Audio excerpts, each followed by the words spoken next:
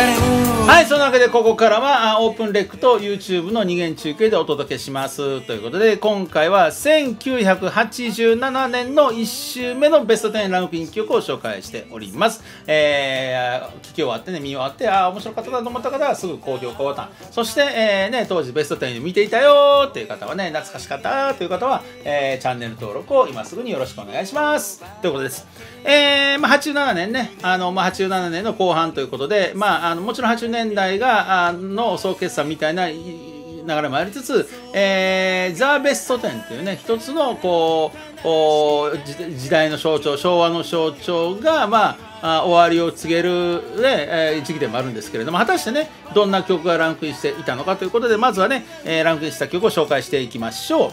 池田聡、モノクローム・ヴィーナス、永山陽子、ヴィーナス、安全地帯、好きさ、西村智美、16粒の角砂糖、荻野目洋子、六本木純情派、CCB、ないものねだりのアイウォン中、中山美穂、ワクワクさせて、少年隊、バラードのように眠れ、小泉京子、木枯らしに抱かれて、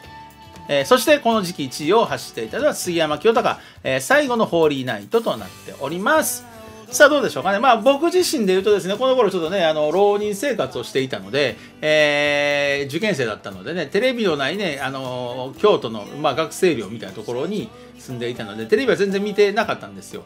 ただ、あの、弟がね、あのこまめに、あのこう、あの、ビデオでね、録画していてくれたので、まあ、夏とか正月に帰った時にそれをずっとこう見ててね、あの当時のベストでの情景とかをね、あのこうちゃんと後追いできたんですけどまあ多少そののこうね、あの全部撮ってるわけではないので弟セレクトなのでね。まあもちろん僕の好きそうな、まあ、アイドルであったり、まあ、ニューミュージック系のね曲。プラスちょっと弟の趣味も入っているという流れでね。だからよう知ってる曲もあれば全然知らん曲もあるというね。ちょっと僕の中で不思議な、あの流れなんですけれどもね。まあそれでも、あのとりあえず80年代のね中盤の一つの大きなポイントはそのおにゃんこクラブの存在があって、えー、まあ多くは語りませんけど今回はね。あの,、まあ、あのせいでチャートがめっちゃ荒れるんですよ。おなんかこうねそれまでねこういろんな作戦と、まあ、積み上げてきた実績とその英知ですよね、まあ、スタッフの、まあ、作詞作曲プロデュースを含めた。で、えー、本当にね毎週毎週争っていたチャートがなんかこう遊び半分の人たちに荒らされていくみたいな感じで僕にはあったんであのでその後にそのなんかねこうベッと出てき素人みたいなパッと出てきてはチャートを独占してスッと消えていくみたいなね、えー、ことがありでついにはその挙句の果てにはなんかボイコットみたいなことをしてねチャートには入っているのにベストに出てこないみたいなことがあってまああれはひどかったですよね。えー、で一時ちょっとベスト10がなんかもうむちゃくちゃな状況になってたんですがあ今日の流れを見た時にですねあのーなんやろ、ちゃんと、あの、またね、こう元に戻ったというか、その、こう、聞くに値するというか、ね、あの、楽曲が入ってて、ベストテンにもちゃんとね、あの、ちゃんと出てきて歌ってってね、あのー、あ多分ホッとできるそのチャートだしその楽曲それぞれもなんかこう個性的でクオリティも高いなというのは、えー、の感じられると思うんですけれどもいかがだったでしょうか。まああのー、今回ねちょっとねあの今回からちょっとね曲をね聴いていただきながら軽くね聴いて本編で流してるのであんまり流しませんけど、えー、とりあえずその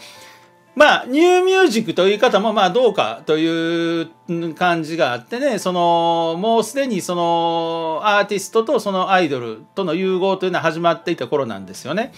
であともう一つはその、まあ、80年代に入ってからもタイアップということのね重要性がもうみんなねこう頭に入っているので、えー、曲を、まあ、デビュー誰か新人をデビューさせるとか売り出しにかかるとかいう時のタイアップっていうのはあのすごく大事でありタイアップが大事だということはアーティスト側も、えー、そういうそのなんコマーシャルベース商業ベースに乗るという意識がいるので。そうするとなんかあのね今回あの前半にやってた70年代の時に話した本当はそういう商業主義的なところがあ嫌で反骨精神で生まれたューミュージックという部分がむしろそのメジャーシーンの主流に乗っかってくるというね、えー、ことも定着させていってまあデビューの仕方売り出される方がいろんなパターンがね出てくるわけですよね。で今お聞きねいただいている10位に入っているそのね池田聡さんモノクロンビーナス大ヒットしましたが、えー、池田田さんなんかもね本当にその学生時代にバンドをやっててで、まあ、歌がうまいということでね。で解散した後そのソロシンガーとなってオーディションを受けて通るんですが、えー、先にね、まあ、事務所に入ってそこからレコード会社が決まってでデビューする時も別に自分の曲じゃなくてもいいというね、えー、だからそのタイアップの企画ありきで、えー、楽曲がまあそのあれそのいつも言いますがタイアップというのは先にね、まあ、企画があってキャッチフレーズがあってイメージがあってそれに合わせて曲作りがスタートしてでそれに合わせた歌手が選ばれるみたいなね、えー、だから大体、まああのまあ、歌手が先の場合もあるんですけどおなのでえっ、ー、とあんまりそのシンガーのその主張というのはちょっと後ろに回るんですよね。で池田さんの場合はそのまずその CD 車の CM だったのでちょっと都会的な雰囲気で、あの、テレビで浮かべに映るのは、あの、小林あさみさんというね、まあ、美女ですからね。えー、で、それに合う、その声の持ち主ということでされて、この曲が、え、ね、あの、与えられて歌ったらねご本人もあれよあれよという前にの大ヒットしたということででその後まあ別にねなんかこう普通の格好だからこうあのなんかギター弾きながら歌うとかでもなくねちょっとこう奇抜な格好するでもなくちょっと当時のおしゃれな DC ブランドのスーツみたいなのを着てあのまあシュッとねブラッとなんかあのやってきたみたいな。おしゃれなお兄さんがやってきたみたいなね。感じで歌ってそのまでドラマにも出るということでね。ちょっと不思議な売れ方ですよね。この時代ならではみたいな。でもまああのボーカリストとしてはそのまあ本当にそのこうシティ・ポップのボーカリストとして後にまあいろんな人出していかはるんですけれどもあのテレビにもよく出ていたという印象がありますね。はい、だから80年代を象徴するような売れ方でありそのボーカリストというまあその男性ボーカリスト部分がこの後90年代に入って出てくるのでねまあそこのその先駆けの一人と言ってもいいいいでしょうかね。えー、というのがあります。そして、あの、安全地帯なんかもね、もう80年代の代表するこうバンドグループですけれども、まあ、あの、シティィポップ、歌謡曲の強みのシティポップみたいな感じでね、えー、独自のスタイルをもう守って、だから、えー、ちょっと大人のファン層の人気があって、うん、でもこう演歌とかまでムード歌謡にはいかない絶妙なところついてるんですよね。えー、で、今回は、えー、好きさという曲はメゾン一国のタイアップということで、まあ、あの、まあ、あの、だから、何なんでしょうね。あの、原作の感じで言うとあんなんじゃないんですけどね。えー、すごい、だから、あの、エロいね、あのー、曲ですよね、好きさね。えー、そんなんでもないのになと思いながらね。えー、でもだだ曲自体は安全地帯っぽくて、あのー、ね、あの玉木さんの良さが全面的に炸裂しててね、いい曲だと思いますけどね。はい。まあ、こんなに盤石ですよね。こういう、まあ、完成度の高い曲がまあ入っていると。で、今流れてきましたね。えー、これ本編でも熱く語りましたが、永山陽子さんです。まあ、その80年代は、まあ、松田聖子、河合直子らの8年組のね、大ヒットからもう、新しいね世代に入りましてで82年にはまあきょんきょんね中森明菜その他ねその早見とかまああの黄金時代のねアイドルブームがドーンと80年組出てきてでまあ81年と83年は不作だったんですが、まあ、84年以降は結構コンスタントにねもうあのアイドルがどんどん出てくるわけです。その84年組なんですけど、えー、から5年にかけてはですねその斎藤由貴、南野陽子、まあ、南野がちょっとおすだけっぽいですが、まあ、斎藤由貴、だからまあ中山美穂ね、この辺りがもうデビューと同時にね、バンとこうね、チャートに入、ほぼチャートに入って、人気をかっさらう中で、えー、なかなかね、そのこう、浮上のきっかけをつかめなかったのが、この荻野目洋子と長山洋子のね、ダブル洋子だったんですよね。あのー、なんやろ、あのー、フックがなかったというか、キャッチコピー的なところが弱かったというか、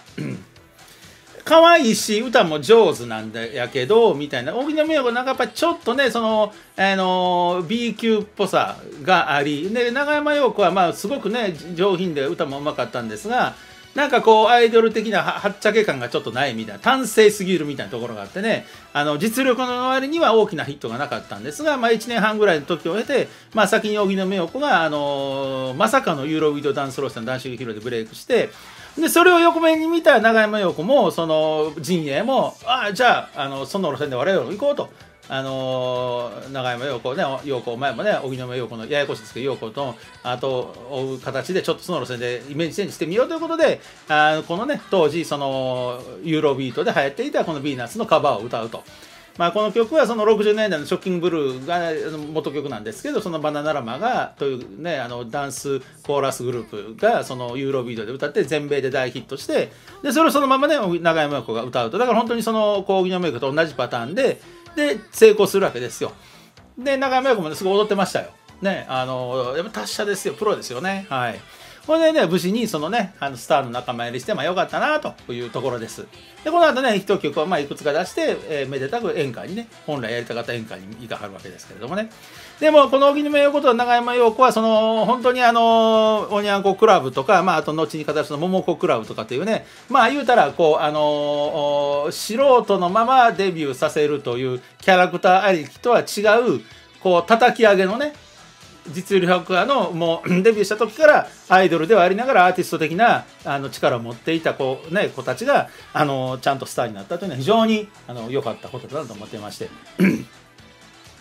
えー、で、その荻野目洋子はこの週では六本木純情派というね、まあ、ダンシングヒーローと並ぶ代表曲であり、えー、ダンシングヒーローがね、いや少女がね、なこう、パッと売れたね、その、あのー、若さははははじけるか感じだったとすると、この六本木純情派は本当にアーティストとしてね、テレビのパフォーマンスのその、こう、なんやろ、あのー、今、好きさが流れてきましたね。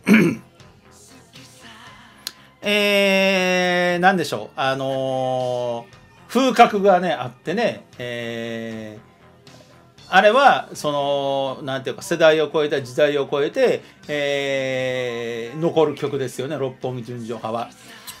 まあそのね男子ヒーローだけがヒットだとなんかカバー歌っていうところになるんですけど、まあ、六本木純のヒットがで本当に良かったなとでその売野正夫さんがねあのその男子ヒーロー後のねあのこの六本木純情派ぐらいからですね担当して荻野目洋子のそのにちゃんとしたキャラクターを与えたと。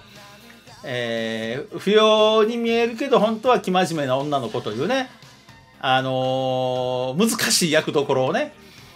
の詩をちゃんと荻野目洋子が歌うことことができてね、あのー後の世界観がこうプチッと確立して、まあ、女性ファン男のアイドルファンだけじゃなくて多くの女性様を掴んだと言ってもいいと思います。ちょっと荻野ことについて熱く語りました。はいあとは永山美穂が、えーと、小泉京子が入っておりましてまあきょんきょんはまあ今今週であの中村家なんか入ってなかったんですけど あのー小柄しんだかれて本当にキョン君にとっての大きな、えー、分岐点となるね大事な曲でもうその B 級スレスレのねえ曲を歌って、えー、永久の輝きを持たせるというね、えー、言うたらもうその奇跡のようなね、ことを成し遂げたキョンキョンが、あだからいかにトリッキーな曲を歌うかみんなところはどうしてもあってね、まあ、このちょっと前にはもうその、えー、学園天国とかね、あの、なんてたってアイドルとか学園、あの、そういうのをね、もう歌ってましたから、もういよいよそろそろ落ち着いた曲をね、どう歌うかって言った時にこの高山さん、敏子さんねのそのこの曲が来て、えーまあ、楽曲そのものは、まああのー、まあ、まあ普通のポップスアイドルポップス歌謡曲という佇まいなんですがこれをきょんきょんが歌うことによってぐっとリアリティを増すっていうね。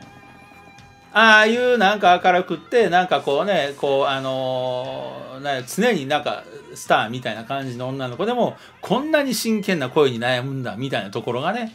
あって、まあ、この曲をもらえたことによって小泉京子のそのなんていうんですか楽曲はもう永遠に残る一つのそのこう、ね、代表曲を手に入れた感じですよね。はい、でこの後小泉京子はもうそのままアーティストローさんにまっすぐ行くわけですけれどもじゃあその小泉京子が担っていたあのなんやろその、え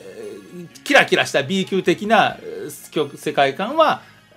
妹分的な中山美穂に受け継がれてってで今回のワクワクさせてとかね派手とかっていうあの辺りもあのそのままそのちょっと前の小泉京子が歌ってた感じですよね。でそれをその中山美穂が受け継いでそのテレビでねドラマの視点でそのまあ青春ドラマ青春コメディみたいなところをやりながら、えー、アイドルのキラキラした部分を中山美穂が受け継いででしばらくのうちにキョンキョンの後を追うようにアーティスト路線に走るというねここ見事な連携が出来上がってるわけですね。はい。今これ流れてきたのは西村智美です。はい。えー、桃子クラブですよね。はい、だ菊池桃子の妹分として出て、えー、癒し系のね、別に歌のレッスンなんかしなくていいと。その雰囲気でそのままささやくように歌ってって感じですよね。えー、だからあのー、まあ、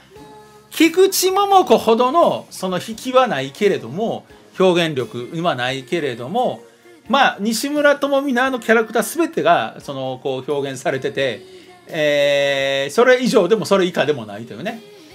うん。だから本当に安心できるこう無印良品的な癒し系の子みたいなね。それずっと貫いてるのが偉いですよね。嘘偽りなかったというね。だからあの桃子という雑誌のその選ぶねあの目は確かだったなというのはそのまあ菊池桃子西村智美と思いますね。はい。まあ、うちの弟は西村智美の映像を撮ってなかったので僕あんまり歌ってる西村智美をねあの見た覚えがないんですけれどもね。はい。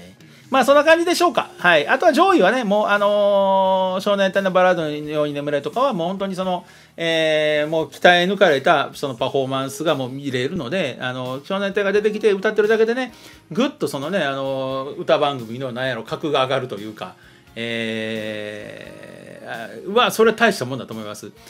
それはまあ、年下もそうですけどね、やっぱりそう、で言うと、そのもっと少年隊は、あのー、3人いる分ね、あの華やかですので、えー、そこは受け持ってるなと。で、まあ、あとはまあ、杉山さんですよね。えー、オメガトラブ解散後、ソロになってからもヒット飛ばしておりまして、もうその、シティポップ、だからおしゃれな、えっ、ー、と、洋楽聴くほどでもないけど、おしゃれな曲が聞きたいという大人の、まあ、20代の層をねでもうあのサザンオールスターズがこの頃はもうだいぶちょっとねあのえっ、ー、とビッグにというかなってるしそのシティ・ポップという感じでもないので、えー、ちょっとファン層が広すぎるとで山下達郎はやっぱりちょっと大人もすぎると。もっとライトにデートの時に車でかけたいねんっていうところを、えー、杉山清隆が、まあ、一手にねえー、引き受けてて満点のポジションをね、えー、獲得してて、えー、年またまさかのクリスマスソングを年またぎで1位にね、えー、置いているというような事態が発生してるわけですね。はい、ということでなかなかに聞き応えのあるトップ10のランキングだったと思います。ということで今回のお話を聞いて、えー、話を聞いてああ面白かったなと思う方は今すぐ高評価ボタンをそして、えー、ねあのこの頃のベストで見てたわ終わって寂しいわと思った方は、えー、チャンネル登録をよろしくお願いします。ということで、ま、ちょっとなんかじゃあ最後にね六本木順情報聞きながら終わりましょうか。はい、ということで、えー、お聴きいただきましてありがとうございました。